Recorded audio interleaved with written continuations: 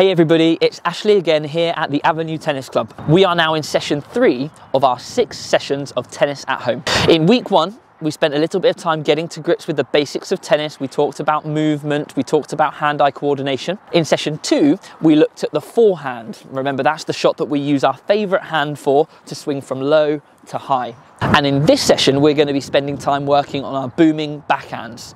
Now, before we get into it, you're going to go on a bit of a hunt around the house to see if you can find some things that we're going to use for our tennis session. So the first thing you're going to look for is a tennis racket or something that you can use instead of a tennis racket. I've been using my chocolate lid. It can be anything that's flat and hard that you can hit the ball with or a pair of socks. The second thing that you're going to need is a pair of socks. Now we've been using these socks before, but we're gonna use them in a slightly different way today. So you're gonna need to find yourself a pair of socks. Now, when we're looking for these socks, the longer the better. So I've got quite long socks here. If you've got football socks or any long socks like that, that will be perfect. The third thing you need is a ball. So if you've got a tennis ball, that's amazing. It doesn't have to be a tennis ball though. It could be something bigger. Um, it could be a football as long as it's a lightweight football. And if you don't have a tennis ball, you can always use a pair of socks. But because we already need a pair of socks, you're gonna need two pairs if you don't have a ball. And the final thing you're going to need is your drinks bottle, just so that we can stay hydrated. Okay, so like normal, you've got one minute to find these things. I'm going to leave the list of what you need to find on the screen. Your time starts now.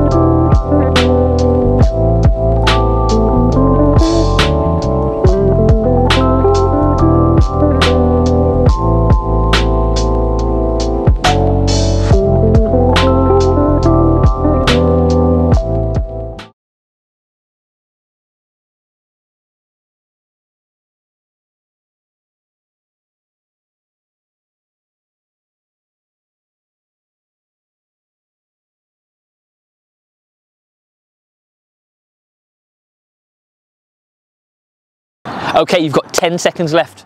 Remember, don't worry if you haven't found everything. You can use your imagination, you can use your hands to control the ball or the pair of socks when we get into it later. Well done, and stop there.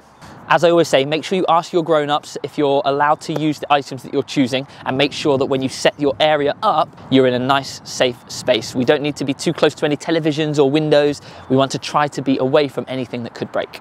Okay, now that you've got everything that you need, pop it down in a space on the floor and find yourself a bit of an area where you're going to be able to swing your hands around. Now, before we start warming up, we're going to talk about the difference between a forehand and a backhand. Now, last week when we practiced forehands, we learned that we use our favorite hand on our favorite side of our body to swing from low to high. So if this is your favorite hand, your forehand will look like this. If this is your favorite hand, your forehand will look like this. So it's important that we use just one hand to swing from low to high, finish with our elbow up like this. Now, the difference between the forehand and the backhand is very simple. We use two hands for a backhand, and it's on the opposite side of our body. So if this is my favorite side, this would be a forehand. And if this is my favorite side, the backhand would be on this side with two hands. And I'm gonna swing over my shoulder just like we did before. So this will be a backhand. Now, if this is your favorite hand, then your backhand's gonna be on the other side with two hands just like this. Okay, so for our warm up, we're going to get to grips with the difference between our forehand and backhand. Now, the first way I'm going to do it is going to be very simple. I'm going to shout forehand, If I do, you're going to show me your best forehand technique using your hand. If I shout backhand, you're going to see if you can do your backhand side as well. Okay, in between every shot, it's important to get back to our ready position. So let's start in our ready positions. We want our hands together just like so. Ready, backhand. So we're using two hands. Ready position. Backhand. Ready position. Forehand. Using one hand, still finishing over your shoulder. Forehand. One hand, excellent. Backhand. Good. Forehand. And ready position. Excellent work. So that's it. Hopefully you're starting to understand the difference. Remember a forehand, we use one hand, the front of our hand, and the backhand, we use two hands with the back side of our hand, which is why it's called the backhand. Okay, let's try a few more. I'm gonna go a little bit quicker now. So ready position in between, backhand, backhand, forehand, forehand. Don't forget that ready position in between, forehand, backhand, backhand, and forehand. And pause, excellent, right. Now, just like the last two sessions, it's important that when we warm up our body, we also warm up our brain. So this is the final round of the warm up before we start using the equipment. This time, I'm not going to shout out the name of the shots. You are. So I'm going to do a shot, your job is to copy the shot, and while you're copying it, you're going to shout out forehand or backhand. So for example, if I do this, you would shout forehand and you would do your forehand. Now remember, you might like a different hand to me. So if I show you a forehand here, this is gonna be tricky, but you've got to show me your forehand. So it might be the same side as me, but it might be this side. So make sure you use your favorite hand for your forehand. If I do this shot, you would shout backhand because it's two hands. Okay, so make sure if I use one hand, so do you, and if I use two hands, so do you. Let's give it a go. So you're gonna do the shouting now. Three, two, one. Good. Excellent. Well done, keep it going. Good. See if you can shout the name of my shot before I finish my swing. See how quick you can be. Wow, you were quick that time. Amazing. Three more to go. Shout out the name of the shot before I finish it. Last one. Backhand. Well done, everybody. Give yourselves a pat on the back that is your warm up complete. So you now know the difference between a forehand and a backhand. So after this session, I want you to teach your family members so that they understand what a forehand and backhand is as well. Okay, grab yourselves a quick swig of water before we get into the next part of the session. Okay, now we're ready to start using the equipment. So what you need for this next exercise is your racket or your substitute racket, your socks, one pair of socks, and your tennis ball, or if you didn't have a tennis ball, your other pair of socks as well. Okay, now the first exercise that's going to help you to get better with your tennis movement and your footwork is called toe taps. Now, some of you may have seen this before. If you're really good at football, you're going to be even better than me at this. And if you're a good dancer as well, I think you might smash this too. And the aim of the game is to see if you can tap your ball that's on the floor or your ball of socks if you're using that instead. And you're going to see if you can gently tap the ball with the bottom of your foot. So we're going to alternate between our right and our left foot. So nice and slowly, start with me, off you go. Make sure you've got your racket in your hand because we're going to use that for the next step if you're finding this too easy. So nice and gently, we're going from one foot to the other foot. So follow along with me. Now you'll notice I'm doing it nice and slowly to start off with, but it is going to get quicker. All right, so we're not squishing the ball, we're just tapping it gently. Right, now if you're finding that easy, I want you to pick up the speed by hopping from one foot to the other foot, to the other foot. Still gently tapping the ball, and if you're feeling really confident, you can go quicker and quicker until you're going lightning quick like me, or even quicker than me if you're an expert. So tap, tap, tap, keep going. Good. Remember, we're not squishing the ball, we're gently tapping it. Now, this is really good for your coordination and for your balance as well. So keep it up. We're going to go for 10 more seconds. Five seconds, four, three, two, one, and rest. Well done. Okay, so toe taps. Have you done them before? Awesome. If you haven't, you've learned a new skill, and this is really, really good for all sports people because it helps you to be light on your toes and to have good coordination. So, the next step of this, you're going to take your ball of socks. Now, if you haven't done it already, stuff your socks together. So, you're going to push one sock into the other one so that it makes a nice ball like this. Then, you're going to use your racket or your Burke or your chocolate lid like I've got, and you're gonna hold it like a frying pan, like this. And you're going to see if you can balance your sock ball on top of your racket. Now today we're going to use two hands to hold the racket because we're practicing backhands. So remember backhands we use two hands.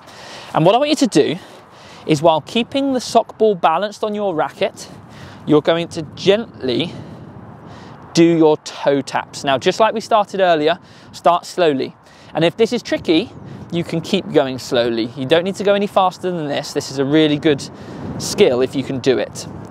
But if you are finding it easy, you can go a bit quicker to see if you can do it lightning quick without dropping your sock ball. Off you go. So have a little go at that. Making sure that your racket's staying nice and flat. You're keeping your sock ball balanced on your strings whilst doing your toe taps. Now this is tricky because you might want to look at your sock ball, but also you might want to look at the ball that's on the floor as well. So have a go at both. See if you can look at the ball on the floor. Is that easier? Or is it easier to look at the sock ball? Or can you find a way to look at both? If you bring the racket really close to you, you might be able to see both balls at once. It's a really tricky skill. Amazing. 10 seconds left. Keep it up. Go at your own speed. If it's too tricky, go slowly.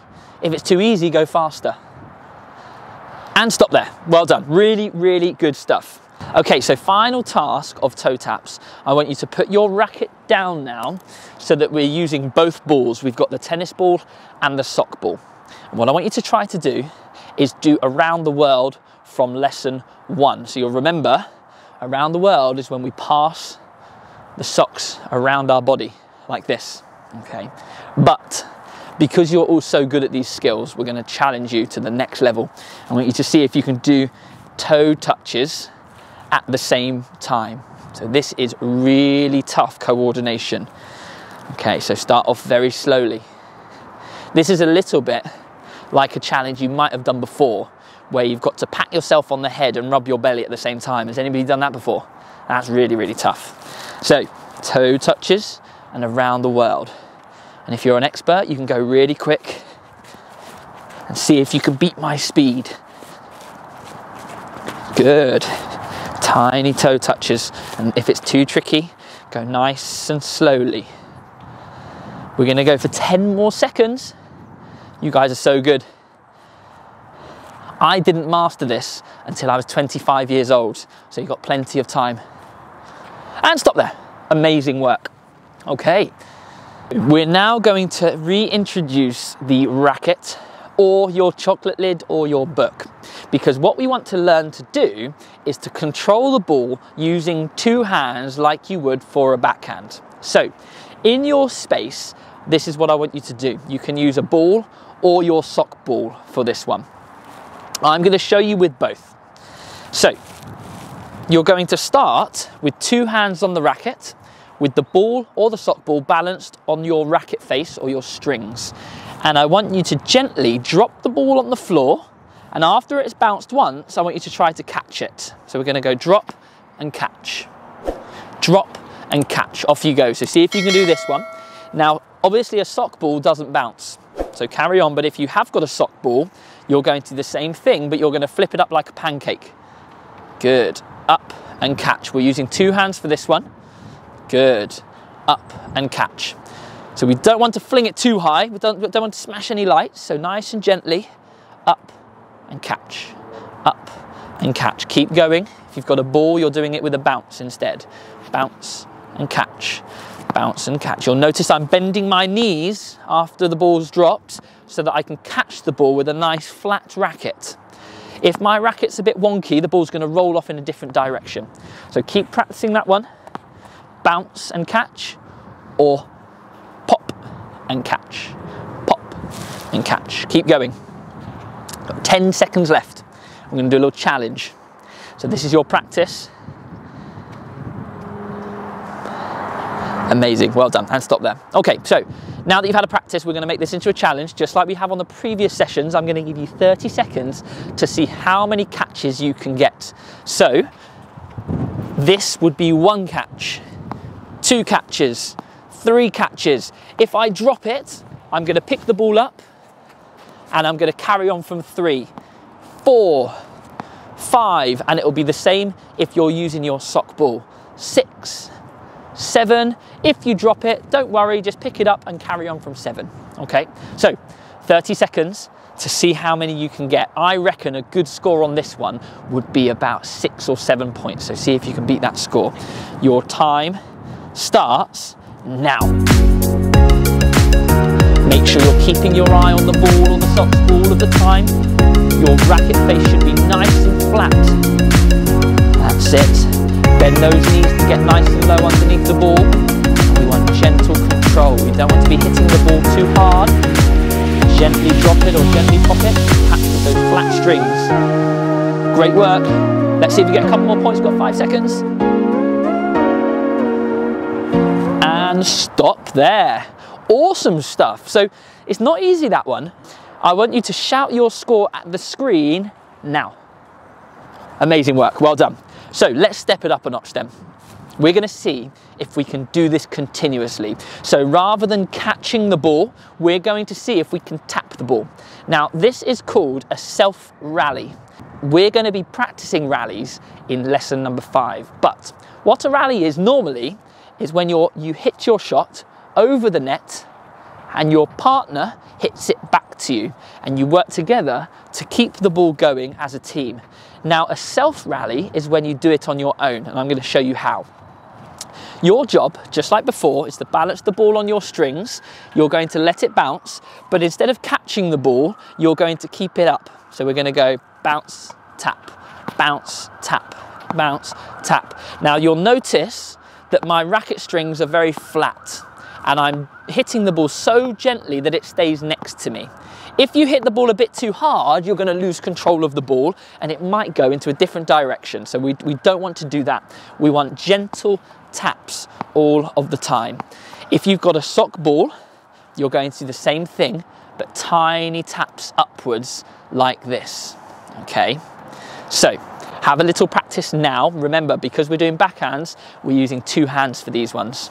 Off you go, little practice. Gently, we don't want the ball going above your head height. We want to keep it nice and low. And we want to keep those strings flat, bending our knees all of the time. Good. Excellent. Little practice. And stop there. Right, let's make it competitive then. How many do you think you're going to get in the space of 30 seconds? Do you think it's going to be more or less than your last score? It's going to be tricky, isn't it? Because this one the ball could go out of control. So let's see if you can beat your last score. Your 30 seconds starts now. Off you go.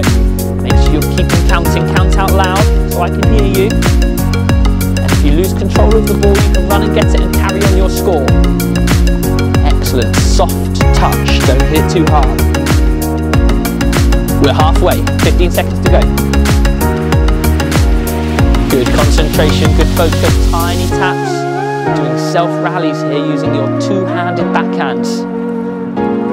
Three, two, one, stop there. Excellent work. Well done. Did you beat your last score? Give me a thumbs up or a thumbs down. Good effort. Awesome stuff. Right, we're going to grab a quick drink before we get into our last game of the session.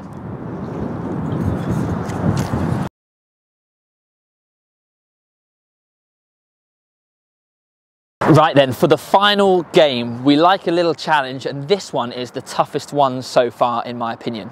Your job is to put your tennis racket or whatever equipment you're using for your racket somewhere in your room. And I want you to try to put your tennis ball a few meters away from it on the floor. The third thing you need is your pair of socks, but we're going to unfold the socks now. And you'll see why we needed long socks for this one.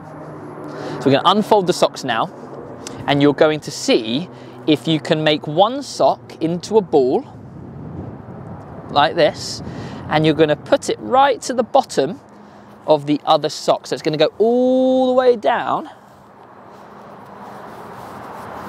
like this. Okay, so you should have one sock with the other sock right at the end of it like this. So do that now for me because this is going to be your tennis racket. I know, funny, right? Okay, so keep doing that and make sure you're watching me while you're doing it because I'm going to show you the challenge. So, like I said, this is your tennis racket now, and you're going to hold the top of the sock with two hands like this. And your aim is to see if you can hit your tennis ball towards your racket. We're going to see how many hits it takes to hit your racket with the tennis ball. Now, if you need to do a gentle shot, we would like a small swing. But if we need to hit it far, like I do, I'm probably going to need a really big swing and finish over my shoulder. So let's take a look. Shot number one. Oh, that was a good one. So remember, we're using two hands and we're using it on our non-favorite side. So remember, this is my favorite side, so I've got to use it on this side. Shot number two coming up. Right, I hit the racket with two shots. Now, I've had loads of practice at this one. See how many shots it takes you to hit your tennis racket using your backhand with socks. Have a go. This game is a really good one and what you can do when you get really good at it is you can hide your racket behind somewhere in the room to see if you can hit your tennis ball around some different obstacles. And you can challenge your family members to this too. See how many shots it takes you and see how many it takes your different family members. Amazing. I'm gonna give you 30 more seconds to keep going with this game. Remember, if you need a soft controlled shot, we want a small swing with your backhand. But if you need to hit the ball far, you're going to want a big swing right over your shoulder. Amazing. 10 more seconds. Good.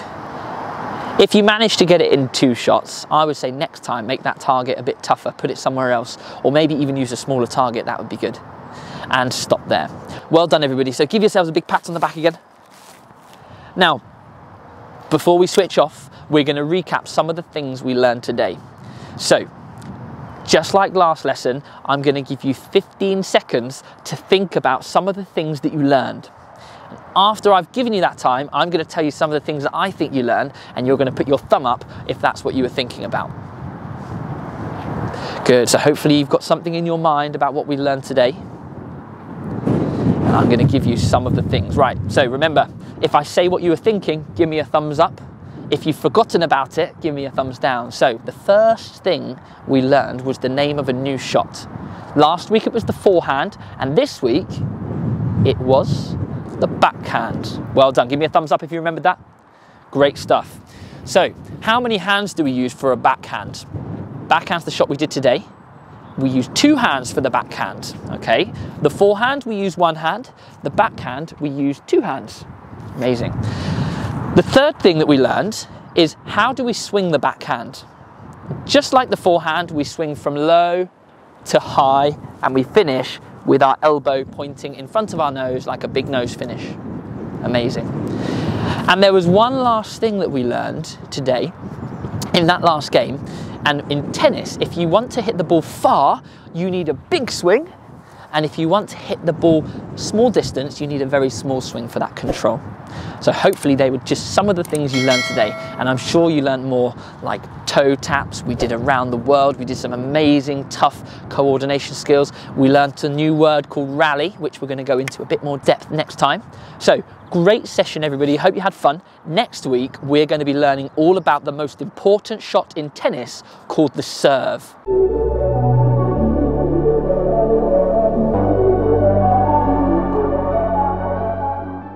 Okay, another challenge for you to try at home. Um, kids, parents, have a go. Another one with a tennis ball and a football. This time, you're going to see if you can play basketball with both balls at the same time.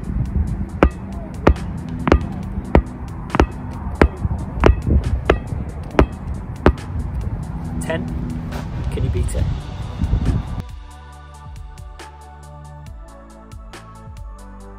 So we had loads of video submissions from my plank challenge, so I thought we'd set up another one. All you need is a ball, a football, um, and a tennis ball. As long as you've got one ball big and one ball small, uh, then you'll be able to do this one. Um, have a look, see if you can do it at home.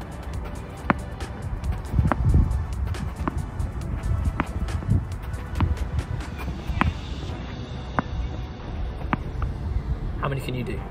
Good luck.